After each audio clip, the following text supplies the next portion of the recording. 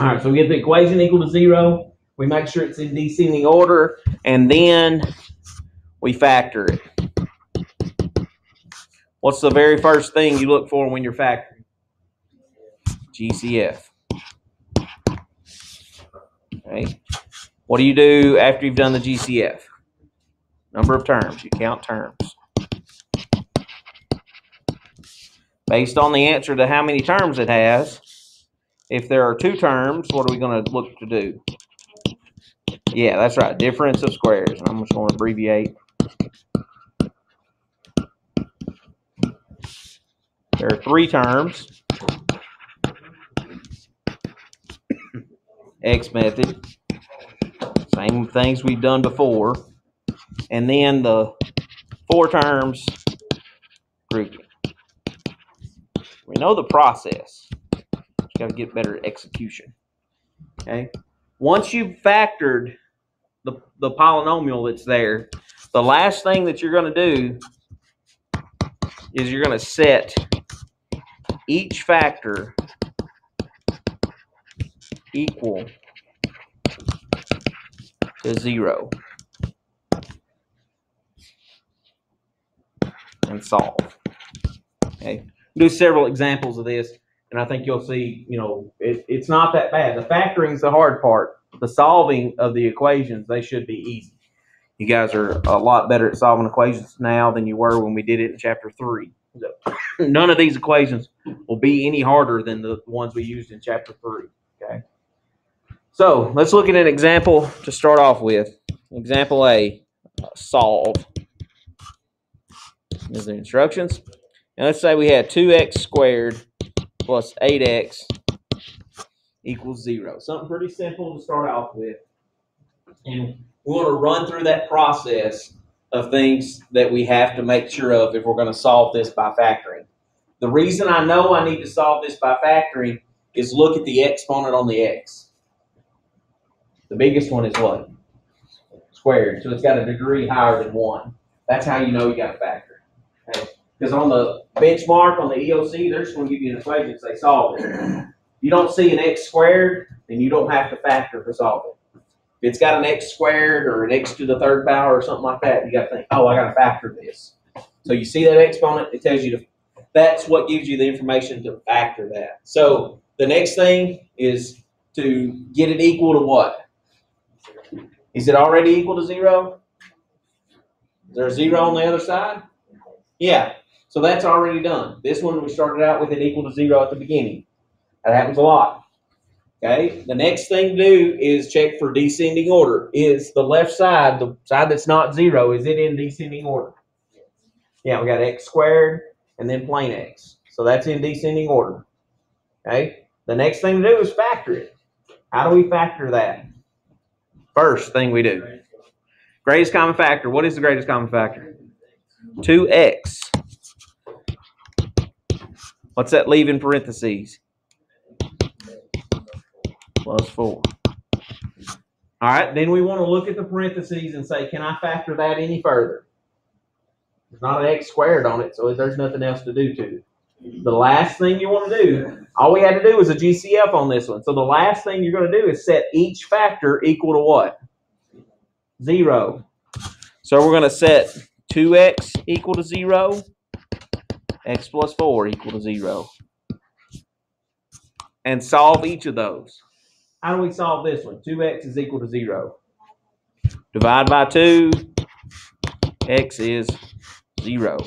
Because 0 divided by anything, 0, right? How do we solve this one? Subtract 4, x equals negative 4. We got two answers. The degree was 2, and we got two answers. That's what should happen. That's what we're going to see today. Whatever the degree of the problem was, that's how many answers we should have. Hey, Boyd, could you shut that door for us? It's a little cool.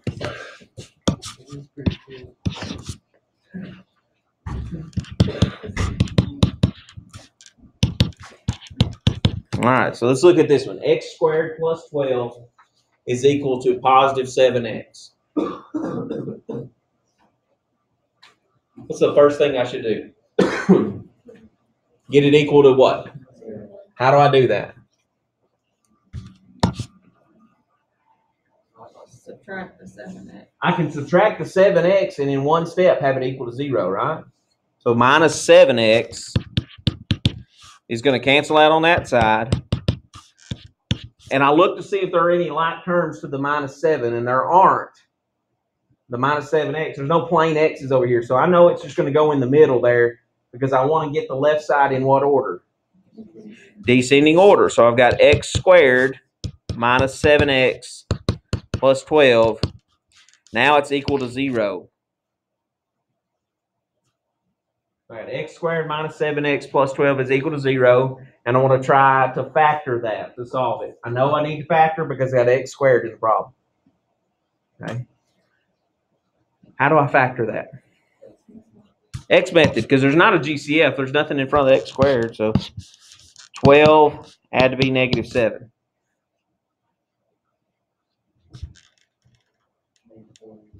Good. Negative 4, negative 3. Negative 4 multiplies to be, or times negative 3 multiplies to be positive 12 and adds to be negative 7.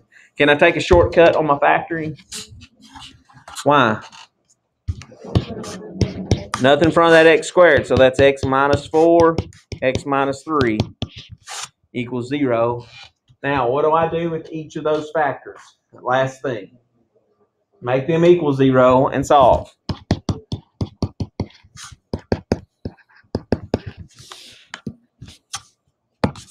We'll add 4. So x equals positive 4.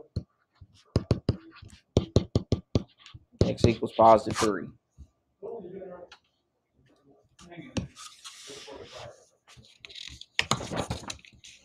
All right. Not bad.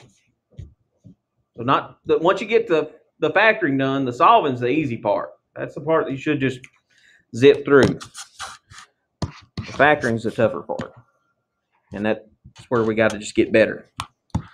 3x squared plus 3x equals 18 plus 2x squared. So a little bit more going on in this problem than we had in the first couple. But still, same idea. We want to get it equal to what? Zero. Okay. One of the things that you want to make sure you try to do is get the, the leading term, that first term, or whatever the highest exponent is, try to make it positive if possible. Okay. So if I want to keep the x squared being positive, do I want to move the 3x squared or the 2x squared? Yeah, I want to move the 2x squared because if I subtract 3 from 2, I get a negative answer. So subtracting 2 from 3 is going to get me positive x squared. I'm taking two steps to do this, you know, I would be fine if you did, did it in one step. That's fine. You're to do both. Because what else do I have to do? Subtract the 18. And I would be fine with you doing that in the first step too at the same time. That's not a big thing, but I'm just taking extra step here. So there's the equals zero now, and I have x squared plus 3x minus 18. Is that in descending order? Yes. So if it's in descending order, I'm ready to try to factor it. Is there a greatest common factor? No. So what method am I going to use to factor it?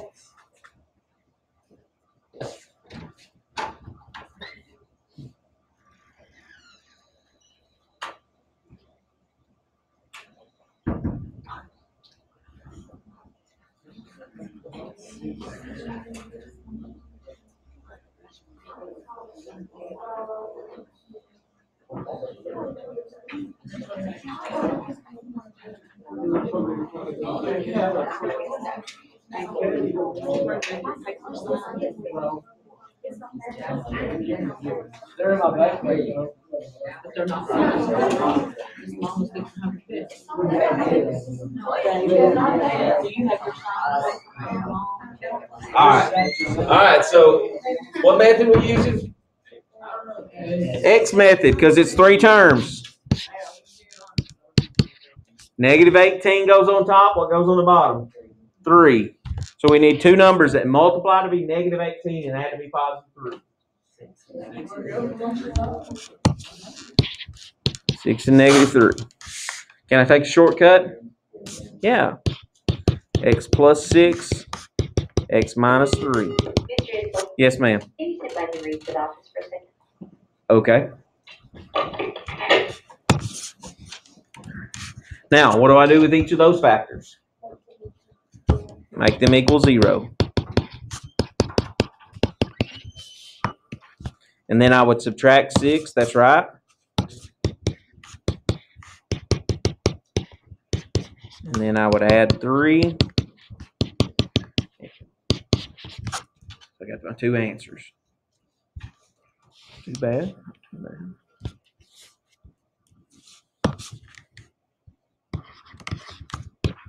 Four x squared is equal to twenty-five. A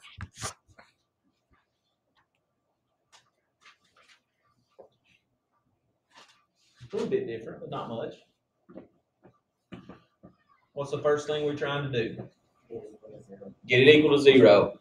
The four x squared is positive where it's at, so we don't want to move it. So we need to move what? How do we move it? Subtract it.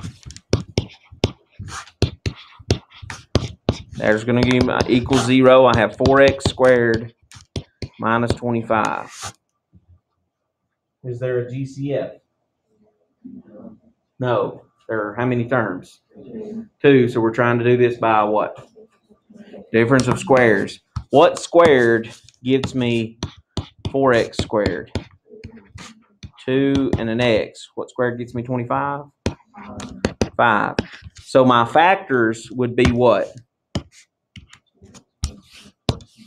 Good, good. Yeah, two x. One's a plus and one's a minus. Doesn't matter what order you put those in.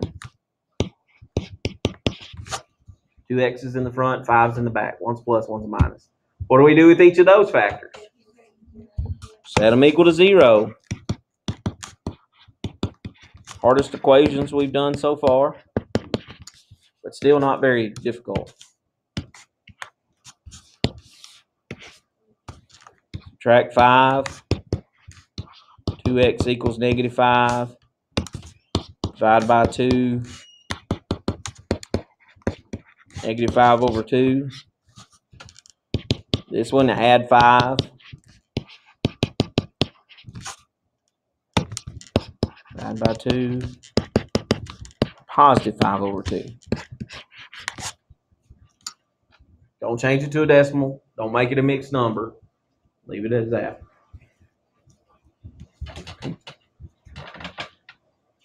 All right, not too bad. There's a difference of squares example. Let's go to example E. I'll just put it over here to the side of that. 3x squared equals negative 8x minus 4.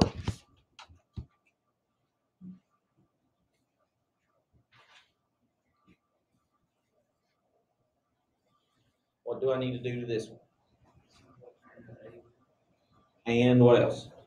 Yeah, well, add 8x and I'm gonna add 4 to move them over there with the 3x squared. I'm gonna do it in one step here. So these cancel out. There's the equal zero.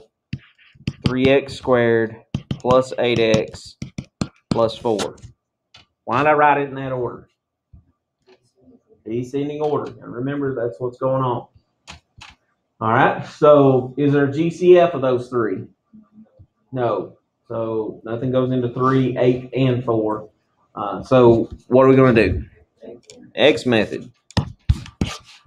What goes on top? And eight on the bottom. What does that? Six and two. Can I take a shortcut on this one? No. Got something in front of x squared, so I've got to go through this route. Group. What's the GCF of 3x squared and 6x?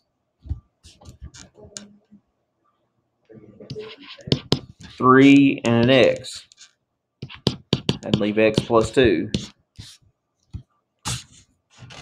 And the second pair the GCF of two X and four. Two and then X plus two, good. So my factored form is X plus two, three X plus two. So here's the factored form of that. What do we do with each of those? Equal them to zero. So x plus 2 equals 0. Subtract 2. X is negative 2. 3x plus 2 equals 0. A little bit more work on this one. Divide by 3. x equals negative 2 thirds. Okay. And then we've got our two answers. What that means is I, I could take negative two and plug it back into the, the original problems, check to make sure it worked. Plug it in for x in every place that there's an x and work it out, and it should equal the same thing on each side.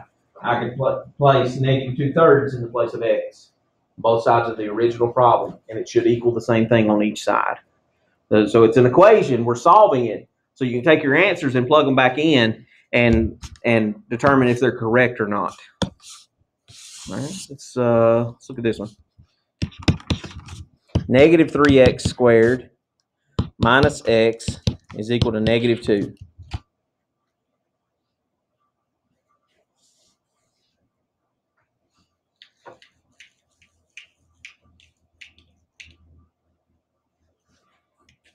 So what do we need to do to this one? If we add two, that, that gets it equal to zero. But what's the problem that we're going to run into here? Got a negative in front. How could I get rid of that negative in front? I could have added 3x squared and to the other side, but then I'd have to move everything else too. What's a maybe a more efficient way? Yeah, I could pull a negative one out of everything, like a GCF, or I could just divide them all by negative one. Since it's just a number that I'm divi- I'm pulling out, I could divide everybody by negative one, even the zero, because it's an equation. Whatever I do to everything on this side, I got to do the same thing over there, right? That's the rules for equations. So if I do that, that changes the signs of everybody. Zero divided by anything, though, is still zero. It doesn't really change signs. There. That gets us the right stuff here, a positive in the front. It can't, it doesn't necessarily mean that it can't be done this way with the negative in front, but it makes it more difficult. And I'm trying to make things easier on myself as much as possible. So dividing everybody by negative one, it just changes the signs of every part of the problem.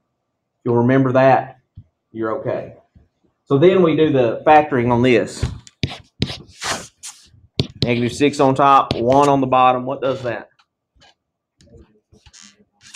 Negative six times negative one. Yeah, that doesn't do it. It's too far apart. Three and negative two. That's what it should be. we got a positive, we want it to add to be positive one. Three plus negative two is positive one. Three times negative two is still positive six. So it does work there. All right, and then can't do the shortcut because I got something in front. So I'm just gonna put three x minus two x in there and group that. What's the GCF of those first two? Easy, three x, yeah, x plus one. What's the second two? Kind of two. Negative two. Big, big, big deal right there that you pull out the negative two. So my factors are three x minus two and x plus one.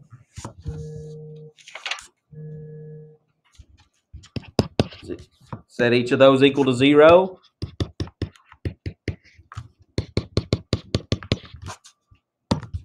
I'll do this one. That's easy. The other one's not too too difficult.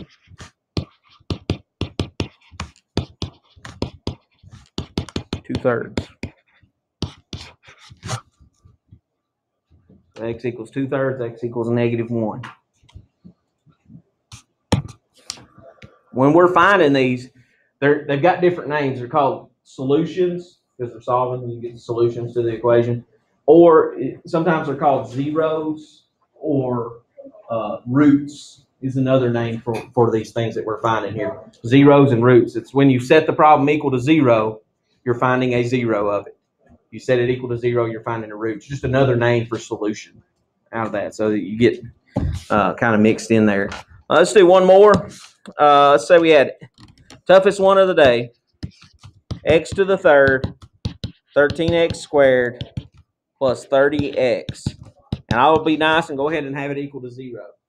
We want to find the roots of this problem or find the solutions or find the zeros of that problem. There's a greatest common factor of x, that's good. So I'd pull the x out to the front first. What's that leave in the parentheses?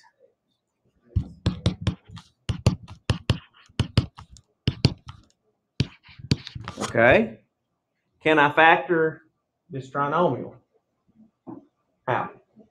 X method. 30 on top, 13 on the bottom. 10 times 3 is 30. 10 plus 3 is 13. I can take my shortcut.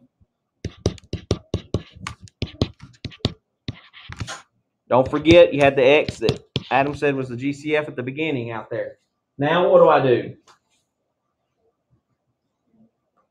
How many of them? All three of them, because this has got an X here. So I'm going to set X equal to zero. That one's the nice one. I don't have to do anything solve it, right? It just says X equals zero. That's an answer. X plus 10 equals zero. X plus three equals zero. Okay, so that's X equals negative 10. That's X equals negative three. We got three answers. What was the degree of the original problem? X to the third power. We got three answers on something that had X to the third power on it. That that always happens that way. Okay. All right. Your assignment for today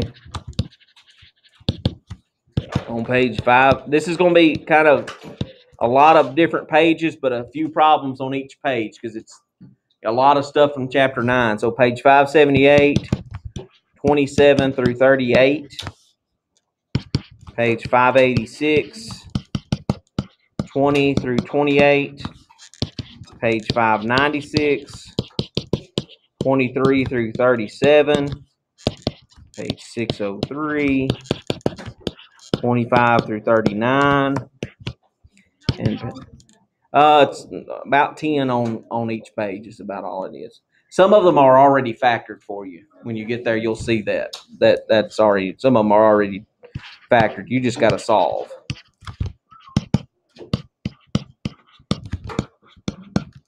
All right. So that's 11. That's uh, 9. That would be 14, 15 on that one. And then that would be 15. And there is 11. Oh, that's 12. 15, 40, 50, about 60 problems, but some of them are already factored for you guys. Guys, you got an hour. None of these took a minute to do. Don't miss. Okay?